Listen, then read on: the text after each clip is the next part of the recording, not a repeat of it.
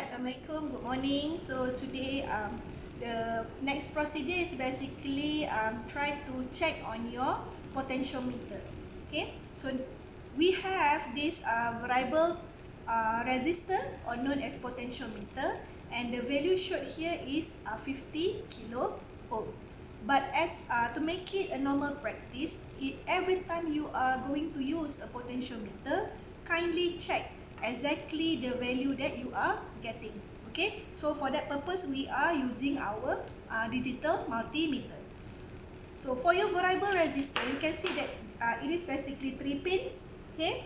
So one of the leg is basically should be connected to the positive supply while the other one the outermost is also will be connected to negative supply all of the reference value that uh, you should be using is basically coming from the uh, middle leg basically right? So since this is no polarity so you uh, you are freely to uh, choose uh, whenever right?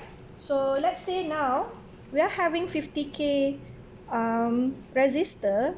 Now I'm checking exactly what's the value that we are getting. Now you see that the value is only uh, around 46 kilo ohm right? That means uh, we are having um, some uncertainties here but kindly aware that uh, we do not allow uncertainties uh, more than the tolerance value of plus minus 2 right? So if you are getting 46 that means uh, this variable resistor need to be replaced. Okay try to use uh, the other one